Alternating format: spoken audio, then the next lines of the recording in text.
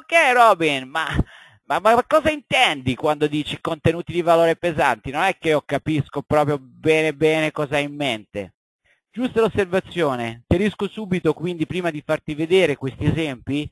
cosa sono secondo me i contenuti di valore pesanti. Prima di tutto sono contenuti che si distinguono dai contenuti normali che trovi là in giro per il web. Perché là in giro per il web che cosa trovi? Per lo più nel 90, 95, 96% dei casi trovi articoli più o meno buoni, la maggior parte, mm,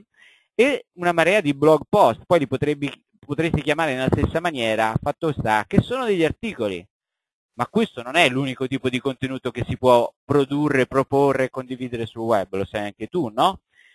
Quindi i contenuti di valore pesanti non sono generalmente questi qui.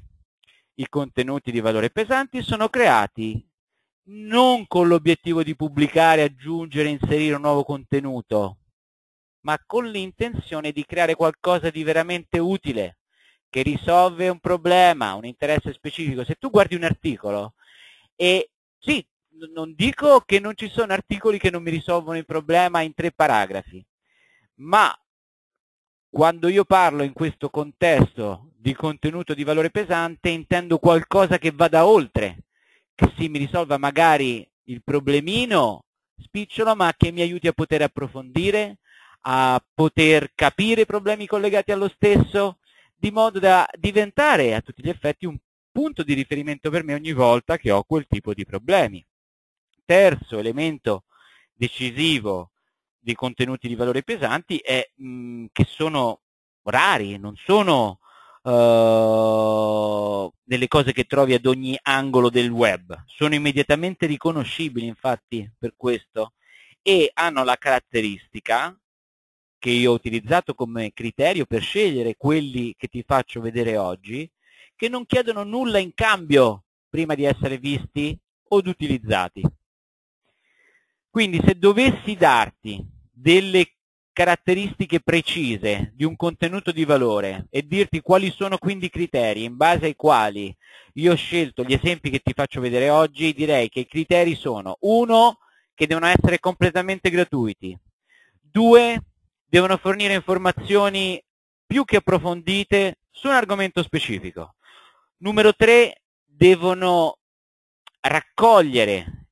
e organizzare informazioni e risorse utili, non solo riflessioni, pensieri personali, opinioni, qualcosa di più, devono andare là fuori e raccogliere materiale utile.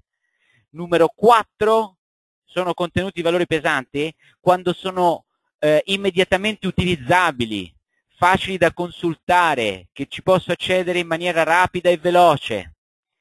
Uh, sono per me contenuti di valore che possono far parte di questo gruppo che andrò espandendo nel tempo con i suggerimenti che mi manderai anche tu mano a mano che ne scopri in giro, quei contenuti che non servono a vendere qualcosa per prima cosa, ma che danno valore,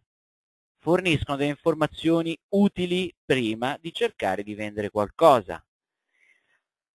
rappresentano un interesse di chi sta dietro al progetto, non sono un business per il business, ho pensato questo business perché si potrebbe guadagnare tanto, allora ah, ta, ta, ta. no!